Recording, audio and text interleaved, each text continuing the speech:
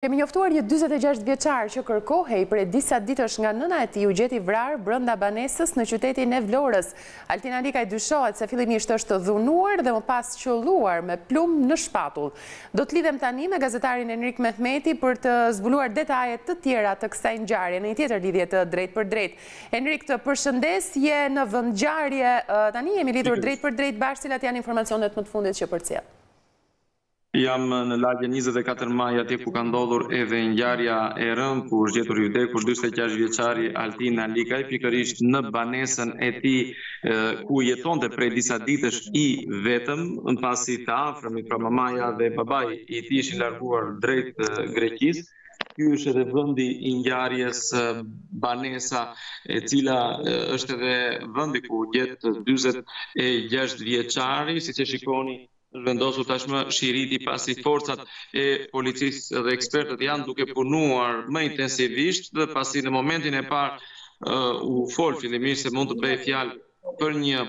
vdekje nga mbidoza, por edhe një një pistë tjetër ishte ajo e vetëvrasjes, por tashmë Këto pista kanë rënë, është konfirmuar se dyzet e gjashtë vjeçari është ekzekutuar me armë, madje ka qenë një një vrasje e mirëorganizuar, një vrasje e cila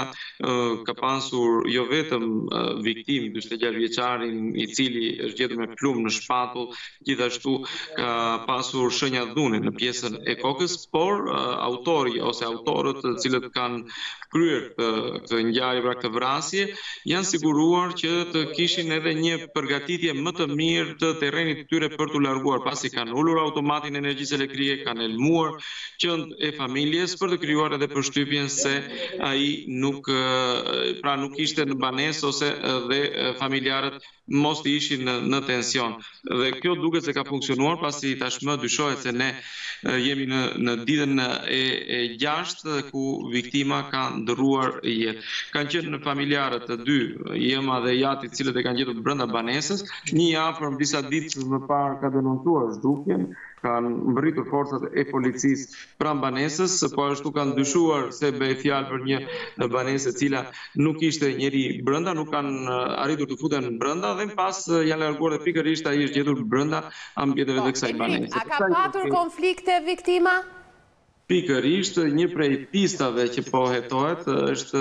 ajo e konflikteve për shkak të lëndëve narkotike ai njifej Si një shpërndarës i lëndëve narkotike, po ashtu edhe një përdorus i lëndëve narkotike, i disa llojeve të lëndëve narkotike dhe një prej pistave që po hetohet është ajo e një konflikti që mund të ketë ndodhur disa kohë më parë në Kosovë, ku dyshohet se me persona të cilët ai mund të jetë konfliktuar mund të ketë mund të kenë edhe lidhje me këtë ngjarje, pasi sipas burimeve nga vendngjarja mësojmë se Pasaporta e tij ishte mbajtur përpara Vitit të Ri në Kosovë dhe ai ka hyrë para Vitit të Ri ilegalisht për në Shqipëri. Vendi ku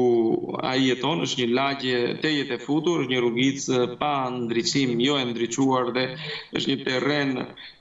mund të themi i rrezikshëm për të kaluar në drejtim banesës, por duket që autori ose autorët e kanë mirë organizuar pasi siç thashë edhe pak më parë jo vetëm e kanë ekzekutuar brenda banesës, por edhe kanë krijuar dhe gjithë rrethanat që të krijohej përshtypja se brenda banesës nuk ka pasur asnjë person. Po, por në fakt brenda banesës Enrik, përtej personave, përsa i takon sendeve personale, çfarë janë gjetur që mund të ndihmojnë në hetime apo të dhëna të tjera, ndoshta telefoni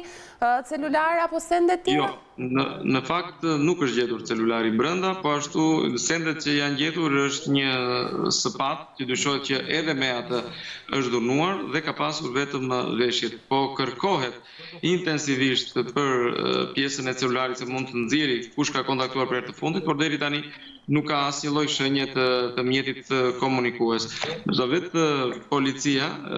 e ka akoma më të vështirë faktin e kamerave, pasi siç e shikoni dhe nga vendngjarja,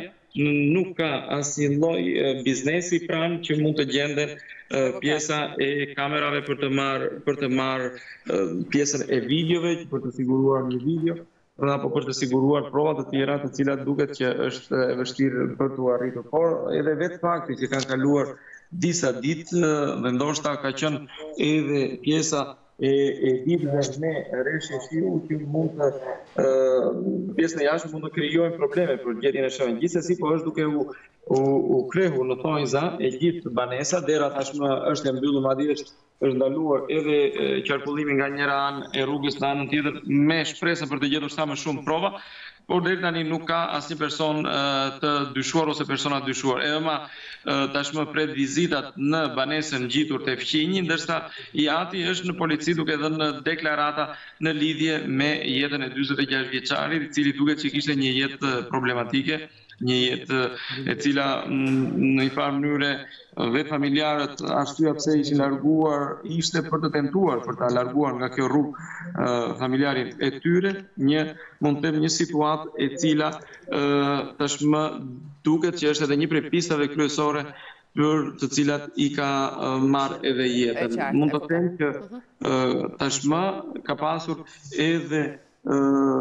persona që po pyeten, por vetëm në kuadrin e vetëm të personave që janë fqinjët, por fqinjët nuk kanë dëgjuar asnjë lloj zhurme, asnjë lloj, mund të them, krisme të armës, e cila siç thashë edhe pak më parë, ka dy shenja, njërën e ka në pjesën e supit, ka dhe një tjetër një shenjë në kokë, plumbi në pjesën e supit është gjetur, dhe dyshohet që është në krahun e zemrës dhe pikërisht ai mendohet që mund të ketë qenë edhe fatal, por dyshohet që është dhunuar përpara se t'i merrej edhe jeta përfundimisht. Ndërsa vetë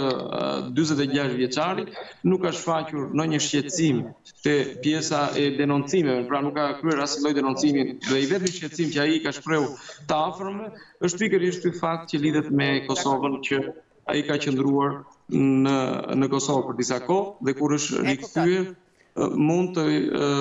jetë pjesë e një konflikti të madh pasi ai ka hyrë ilegalisht. Një tjetër pistë mund të jetë edhe ajo e grabitjes pasi dyshohet 46 vjeçari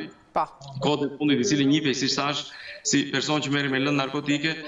ka pasur shumë para nëpër duar. Por gjithsesi këto janë gjithmonë në kuadër të pistë Po, faleminderit. Faleminderit Enrik Mehmeti për informacionin që përcove. Faleminderit edhe juve.